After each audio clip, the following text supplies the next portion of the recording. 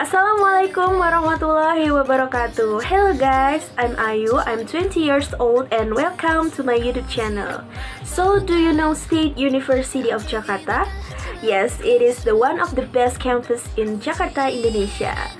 This is my second year studying here and I major in community education, the part of education faculty.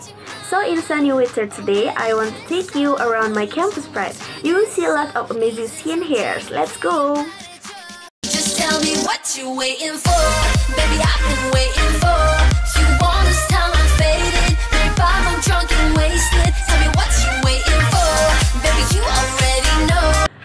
The reason I took the community education in State University Jakarta was because of the broad job prospect and not only focus on the formal education.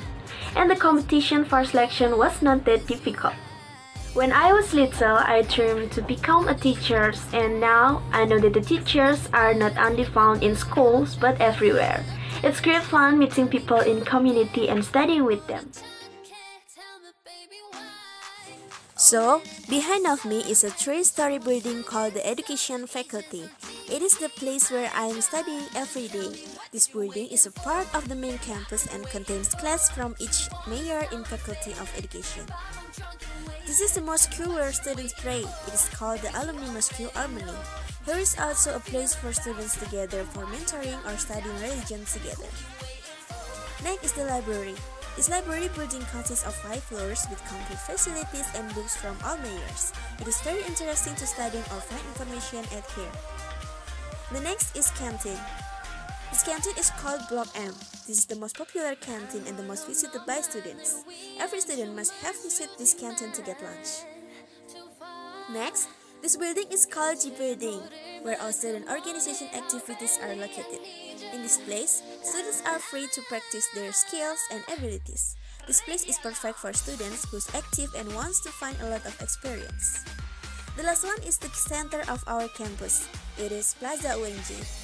This place is a campus icon that is used to take pictures during introductions or graduations moment. The students must to take pictures at this beautiful place. Let me tell you about my daily schedule for the major in community education.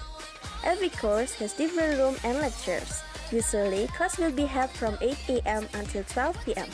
The topic of course is about community education theory and sometimes we go into practice in community. Unfortunately, during the COVID-19 pandemic, the course be held in online meetings.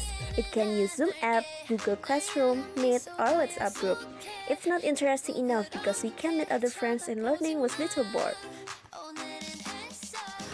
Okay guys, that's a short trip to our campus. If you are interested in studying or just visiting here, let's just go! Thank you for following me. See you in my next video. Bye bye. Wassalamualaikum warahmatullahi wabarakatuh.